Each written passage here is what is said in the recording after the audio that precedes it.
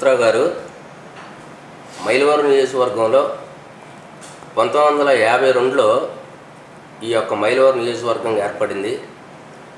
ఏర్పడిన తర్వాత ఈ యొక్క నియోజకవర్గంలో అతి తక్కువ ఓట్లు ఉన్న ఏదైతే ఇప్పుడు జగన్మోహన్ రెడ్డి గారు పెత్తనందారులు అనే వ్యక్తులు ఉన్నారో వాళ్ళే పరిపాలిస్తూ ఉన్నారు. మొట్టమొదటిసారిగా ఒక బీసీలుగా ఈ యొక్క సామాజిక వర్గానికి మరి జగన్మోహన్ రెడ్డి గారు మీకు టికెట్ ఇచ్చినందుకు మీరు ఎలా భావిస్తున్నారు? చాలా ఫస్ట్ అయితే కొంచెం ఇది అనిపించింది ఎంత నియోజకవర్గం మీద అంటే ఇది రాష్ట్రంలోనే హైయెస్ట్ జనాభా ఉన్న నియోజకవర్గం. అది రెండోది ఇప్పుడు ఇది. మొన్నటిదాకా నాలుగోది ఉండేది ఇప్పుడు రెండోది అయింది. మూడు లక్షల ఓట్లు దాటిపోయింది. ఫస్ట్లో అయితే కొంచెం కానీ ప్రజల్లోకి వెళ్ళాక వైఎస్ఆర్ కాంగ్రెస్ పార్టీ కార్యకర్తలను కానీ నాయకులను కానీ వాళ్ళ అభిమానులు కానీ వాళ్ళు చూపించే ప్రేమ అవన్నీ చూశాక చాలా అరుదుగా ఉంది బాగుంది ఇబ్బంది ఏం లేదు. మంచి స్పందన ఉంది. జగన్మోహన్ రెడ్డి గారు అండ ఉంది. ఈ నియోజకవర్గంలో మీకు ఎదురు నిలబడ్డ వ్యక్తులు చాలా మరి మూతపరులుగా ఈ నియోజకవర్గంలో పరిపాలించిన వాళ్ళల్లో మరి ఇప్పుడు ప్రజెంట్ మీకు ఎదురు నిలబడ్డ వ్యక్తి ఒకళ్ళు. వాళ్ళని ఎదుర్కోవటానికి మీరు ఎలా మీ యొక్క ఊహం ఈ ప్రజల్లోకి ఎలా వెళ్ళిపోతున్నారు వాళ్ళని ఎదుర్కోవటం ఏముంది? అలానా ఈ యొక్క నియోజకవర్గంలో ఎప్పుడు కూడా ఈ యొక్క చౌదరీస్ అయితే గెలుస్తారు. ఎప్పుడు కూడా ఈ నియోజకవర్గంలో వాళ్ళకే ఇవ్వాలన్న కాన్సెప్ట్ పంతొమ్మిది వందల యాభై రెండు నుండి కూడా ఈ నియోజకవర్గం నడుస్తూ ఉంది. కాబట్టి జగన్మోహన్ రెడ్డి గారు బడుగు బలహీన వర్గాలకి ఈ నియోజకవర్గంలో మార్పు తీసుకురావాలని మీకు టికెట్ ఇవ్వటం జరిగింది. దీన్ని మీరు ప్రజల్లోకి తీసుకెళ్ళటానికి ఈ యొక్క జగన్మోహన్ రెడ్డి గారు చేసిన అభివృద్ధిని బట్టి వెళ్తారా? లేకపోతే జగన్మోహన్ రెడ్డి గారు చేసిన సంక్షేమాల పథకాలను బట్టి మీరు వెళ్తారా? లేకపోతే మీ యొక్క ఈ యొక్క నియోజకవర్గంలో బడుగు బలహీన వర్గాలు ఓట్లు ఎక్కువ శాతంగా ఉన్నాయి కాబట్టి ఆ యొక్క విధానంలో వెళ్ళబోతున్నారా? జగనన్న సంక్షేమ పథకాలు జగనన్న అభివృద్ధి. అదేవిధంగా బడుగు బలహీన వర్గాలు అందరూ కూడా జగనన్నకి అన్నగా తోడుగా ఉన్నాం కాబట్టి జగనన్న కూడా బడుగు బలహీన వర్గాలను కూడా తన సొంత బిడ్డల్లాగా చూసుకుంటున్నాడు కాబట్టి మేమంతా కూడా ఒక తాటిగా నిలబడి జగనన్నకి తోడుగా ఉంటాం జగనన్న మాకు తోడుగా ఉంటాడు. ఈ కాన్సెన్సీ అనేది జగనన్నకి గిఫ్ట్గా ఇస్తాం. ఎస్ మీరు ఇంకా ఈ నియోజకవర్గంలో ఏ ఎమ్మెల్యే కూడా చేయలేని అభివృద్ధి ఇంకేదన్నా ఉంది అంటే అది మీరు గెలిచిన తర్వాత మొట్టమొదటిగా ఈ నియోజకవర్గంలో చేయబోతున్న అభివృద్ధి ఏదైనా ఉందంటే ప్రజల్లోకి ఏ విధంగా ముందు మొట్టమొదటి తీసుకెళ్తున్నారు? ఉన్నదండి. ఇది అంటే ఒక ఇరవై సంవత్సరాలు బట్టి కొంచెం బయట వ్యక్తులు వచ్చి పాలించడం లేదా వాడుకోవడం వెళ్ళిపోవడం అది ప్రతి ఒక్క నాయకుడికి ఉంది ప్రతి ఒక్క కార్యకర్తకి ఉంది. అటు టీడీపీ కానీ ఇటు మా పార్టీ కానీ అన్నిటికీ కూడా ఇబ్బందులు పడి ఉన్నారు.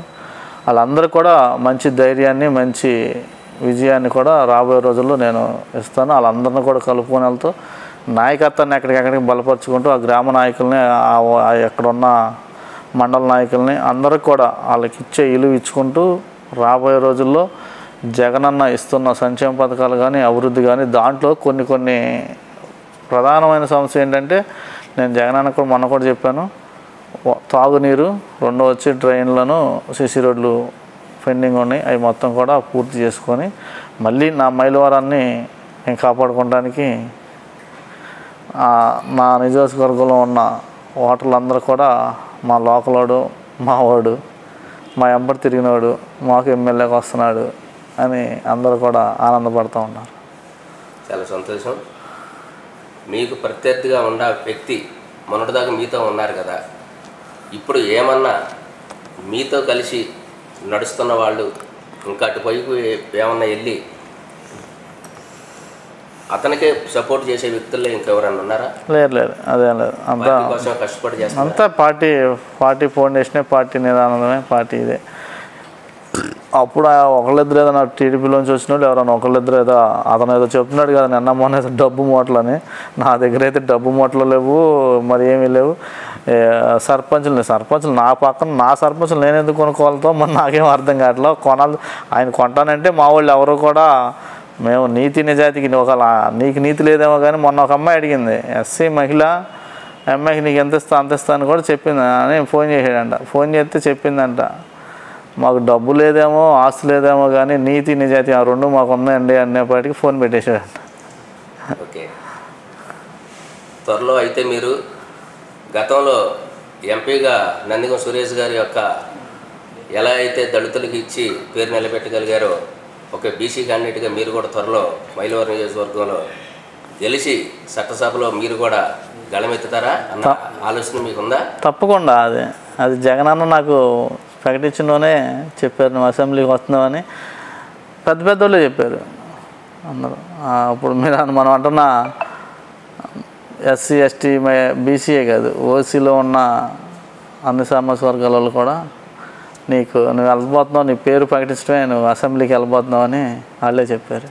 ఎందుకంటే బాగా ఇసిగిపోయి ఉన్నారు అనమాట వాళ్ళ నాయకత్వాన్ని అన్నిటిని కూడా ఈ గ్రామాలని అన్నిటిని కూడా ఒక కూనీలాగా చేసి ఒక కూనీ రాజకీయం విలువలు లేని రాజకీయాన్ని ప్రకటించుకొచ్చి చేసుకొచ్చినందుకు అటన్నిటికి కూడా రాబోయే రోజుల్లో మళ్ళీ వాళ్ళకి నదిగం సాగనంపిస్తాం. సారి పెట్టి మైలవరం నియోజకవర్గం నుంచి మరలా మీరు కోన భాస్కర్ గారి లాగా సినిమా వెంకట్రావు గారి లాగా లోకల్ నాయకులుగా మీ నియోజకవర్గాన్ని డెవలప్మెంట్ చేయబోతున్నారా? తప్పకుండా. వాళ్ళంతా ఇది కాకపోయినా నాకున్న ఇదిలో నేనైతే ఈ లోకల్లో ఈ వ్యక్తిగానే సామాన్య వ్యక్తిగానే అంటే వాళ్ళు కొంచెం పెద్ద ఫ్యామిలీ నుంచి వచ్చిన వాళ్ళు నేనైతే సామాన్యులాగానే అందరికీ అందుబాటులో ఉంటానే మధ్యతరగతులకి పేదవాళ్ళకి అదేవిధంగా ఇప్పుడు ఏదో చెప్తూ ఉన్నాడు కదా ఉన్న వాళ్ళకి కూడా అన్ని రకాలుగా ఈ నియోజకవర్గాన్ని కాపాడుకోవడానికి ముందుకు తీసుకెళ్ళడానికి నాకు జగనన్న ఈ అవకాశం ఇచ్చింది. జగనన్న నమ్మకాన్ని అవకాశాన్ని కూడా అందరికి కూడా జనానికి అందిపుచ్చడానికే కానీ నేను ఇక్కడ ఏదో ప్రయత్నం చేయడానికో లేకపోతే అధికారాన్ని శాసిస్తానికో అయితే ఈ కాన్స్టెన్సీకి నేనైతే ఊహించను అసలు అది. ఇప్పుడు ఎలా ఉన్నానో రేపు కూడా అలా ఉంటా. ఎట్లాంటి ఇబ్బందులు అయితే ఉండవు.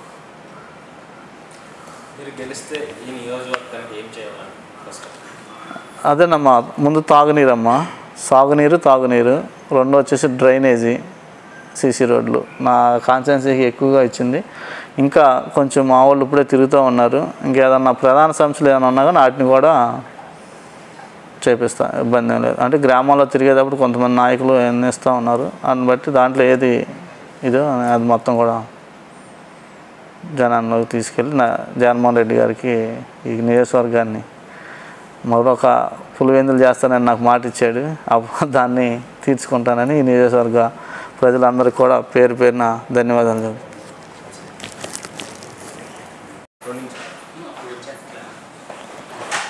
ముందుగా మన ఏ నైన్ ఛానల్ వారికి ధన్యవాదాలు.